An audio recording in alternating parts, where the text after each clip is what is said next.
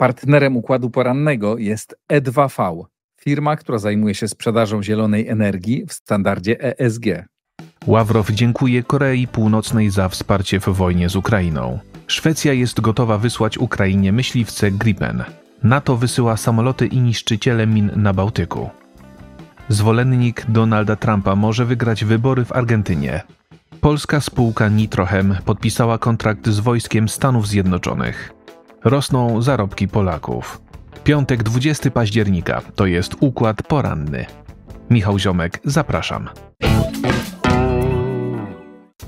Rosyjski minister spraw zagranicznych Siergiej Ławrow przyleciał w środę z wizytą do Korei Północnej. Na lotnisku powitał go minister spraw zagranicznych Korei Północnej i ludzie trzymający kwiaty oraz flagi obu krajów. Ławrow podziękował za jednoznaczne i zasadnicze wsparcie od Korei Północnej w związku ze specjalną operacją wojskową. Minister spraw zagranicznych Rosji wyraził poparcie i solidarność dla północno-koreańskiego reżimu. Według tamtejszych mediów wizyta Ławrowa to idealna okazja do zacieśnienia relacji z Rosją z uwagi na polityczną izolację Korei Północnej. Sekretarz stanu USA Antony Blinken wyraził obawy z powodu narastającej współpracy między Rosją a Koreą Północną, uważając ją za coraz bardziej niebezpieczną.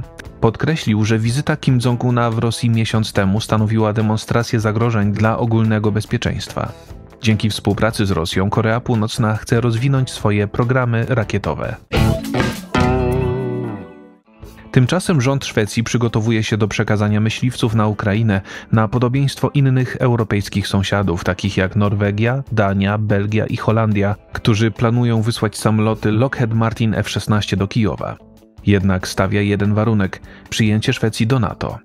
Szwedzki myśliwiec Saab JAS-39 Gripen został wyprodukowany w okresie zimnej wojny w kontekście konfliktu ze Związkiem Radzieckim. Obecnie ma szansę zostać wykorzystany po raz pierwszy przeciwko Rosji. Szwedzki rząd poinformował o Gripenach podczas ogłaszania nowego pakietu wsparcia dla Ukrainy o wartości około 200 milionów dolarów.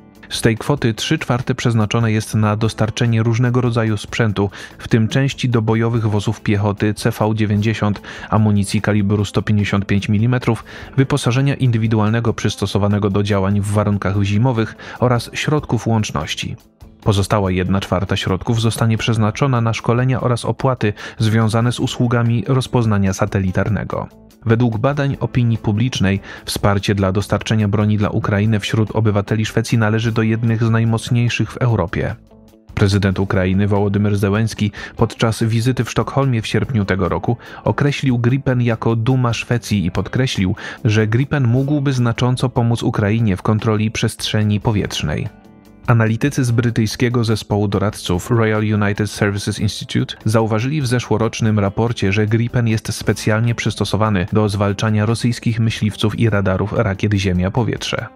Jeśli Szwecja zdecyduje się wysłać samoloty, eksperci sugerują, że może minąć nawet rok, zanim będą one latać nad Ukrainą, ponieważ piloci i inżynierowie będą musieli przejść szkolenie związane z obsługą tych samolotów. NATO intensyfikuje patrole na Morzu Bałtyckim w związku ze zniszczeniami kabla telekomunikacyjnego i gazociągu łączących Estonię ze Szwecją i Finlandią. Zaostrzone środki obejmują dodatkowe loty obserwacyjne i rozpoznawcze. Użyte zostaną morskie samoloty patrolowe, samoloty NATO AWACS i drony oraz flota czterech natowskich niszczycieli min. Nadal uważnie monitorujemy sytuację i pozostajemy w bliskim kontakcie z członkami naszego sojuszu Estonią i Finlandią oraz naszym partnerem Szwecją, powiedział rzecznik NATO Dylan White. Do zniszczenia podwodnej infrastruktury w Zatoce Fińskiej doszło dwa tygodnie temu. 80-kilometrowy gazociąg Baltic Connector oddany do użytku pod koniec 2019 roku i łączący Finlandię z Estonią został odłączony od sieci w niedzielę 8 października nad ranem. Doszło do uszkodzenia rurociągu. W tym samym czasie zostały uszkodzone przewody telekomunikacyjne na dnie Bałtyku łączące Szwecję i Estonię. Nie wiadomo, kto dokonał obu zniszczeń, ale władze państw skandynawskich nie wykluczają, że byli to sprawcy z państw trzecich. W najbliższą niedzielę prawie 35 milionów Argentyńczyków uprawnionych do głosowania będzie wybierać swego prezydenta i wiceprezydenta. Największe szanse ma skrajnie liberalny zwolennik Donalda Trumpa. Według ostatnich sondaży przedwyborczych Javier Milei, Sergio Massa i Patricia Bullrich to troje najpoważniejszych kandydatów na najwyższe stanowisko w państwie. Argentyna jest nękana niezwykle wysoką inflacją. Wynosi ona obecnie ponad 124%. Kryzysowi gospodarczemu towarzyszy zjawisko ucieczki kapitału. Zamożni Argentyńczycy przenoszą pieniądze na konta do stabilnego gospodarczo Urugwaju. Argentyna jest winna Międzynarodowemu Funduszowi Walutowemu 43 miliardy dolarów, niemal trzy razy więcej niż drugi co do wielkości dłużnik na świecie Egipt. Javier Milei, skrajnie liberalny polityk, lider ruchu naprzód ku wolności, zwycięża we wszystkich sondażach przed niedzielnymi wyborami w kraju rządzonym przez polityków wywodzących się z lewicowego ruchu peronistowskiego. Podziwia Donalda Trumpa, chce zlikwidować bank centralny i wprowadzić jako walutę narodową dolara. Chce przenosić ambasadę w Izraelu do Jerozolimy, zamierza zerwać stosunki handlowe z Chinami, bo z komunistami nie należy rozmawiać. Proponuje ponadto zamknięcie przedsiębiorstw państwowych i popiera legalizację handlu ludzkimi narządami. W ostatniej debacie przedwyborczej Milei powtórzył główne punkty swego programu, wśród których jest wydanie bezpardonowej walki z szerzącą się przestępczością. Powinno temu służyć ułatwienie obywatelom nabywania i legalnego posiadania broni, radykalne zaostrzenie przepisów kodeksu karnego oraz zmodyfikowanie systemu więziennictwa. Kolejna w sondażach kandydatka na najwyższe stanowisko w państwie, Patricia Bullrich, reprezentująca główne ugrupowanie opozycyjne, centroprawicowe Zjednoczeni dla Zmiany, ostrzega, że jeśli ułatwimy powszechny dostęp do broni, zaczną się masakry naszych dzieci w szkołach. Bullrich zarzuca nieudolność lewicowemu rządowi prezydenta Alfredo Fernandeza, który nie startuje w wyborach, wskazuje na nieskuteczność obecnego rządu w walce z mafiami narkotykowymi. Odpowiedzialnością za ten stan rzeczy obciąża m.in. obecnego ministra gospodarki Sergio Masse, który startuje w wyborach z ramienia rządowej peronistowskiej Unii dla Ojczyzny.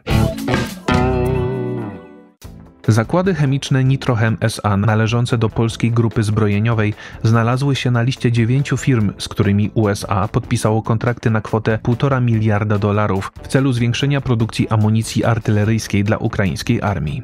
Spółka Nitrochem jest jednym z największych na świecie producentów środków bojowych, głównie trotylu. Zamówienie związane jest z dostawami amunicji do sił zbrojnych Ukrainy. Materiałem wybuchowym wymaganym do realizacji założonej produkcji amunicji artyleryjskiej kaliber 155 mm jest trotyl, którego kluczowym dostawcą dla armii amerykańskiej są zakłady chemiczne Nitrochem SA. Umowa będzie realizowana w latach 2023-2026, napisano w komunikacie spółki. Od wielu lat dostarczamy na jej potrzeby amunicję różnych typów i kalibrów, powiedział Karol Borys, jeden z szefów firmy. Zawarty kontrakt to nie tylko zysk finansowy dla spółki, ale także gwarancja zatrudnienia dla załogi i wzmocnienie pozycji na trudnym międzynarodowym rynku producentów amunicji, dodał. Umowa ma obowiązywać do 2026 roku. Oprócz USA, Nitrochem rozwija swoją działalność na innych rynkach międzynarodowych, m.in. we Francji, Szwecji, Finlandii, Bułgarii, a także w krajach azjatyckich. Przeciętne wynagrodzenie w Polsce wzrosło o 10% rok do roku i wynosiło 7379 zł i 88 groszy brutto, podał w czwartek Główny Urząd Statystyczny. Dane te dotyczą firm, które zatrudniają co najmniej 10 pracowników. Przeciętna płaca wzrosła więc realnie, bo więcej niż wynosi inflacja za ostatnie 12 miesięcy 8,2%. Spadek inflacji i wysoki wzrost wynagrodzeń oznaczają, że zamożność gospodarstw domowych będzie systematycznie rosnąć w najbliższych miesiącach, napisał w komentarzu Polski Instytut Ekonomiczny. Informację przygotował Igor Jankę. W przedsprzedaży sklepu Układu Otwartego jest dostępna książka Igora Jankę Silna Polska, mówiąca o tym, czy Polska ma szansę stać się jednym z europejskich liderów. Książkę można zamówić klikając w link umieszczony pod nagraniem. Jeżeli podoba się Państwu nasza praca, serdecznie zachęcam do wsparcia Układu Otwartego w serwisie patronite.pl. To wszystko na dzisiaj. Bardzo dziękuję Państwu za uwagę i życzę spokojnego weekendu. Do usłyszenia w kolejnym układzie porannym. Partnerem układu porannego jest E2V, firma, która zajmuje się sprzedażą zielonej energii w standardzie ESG.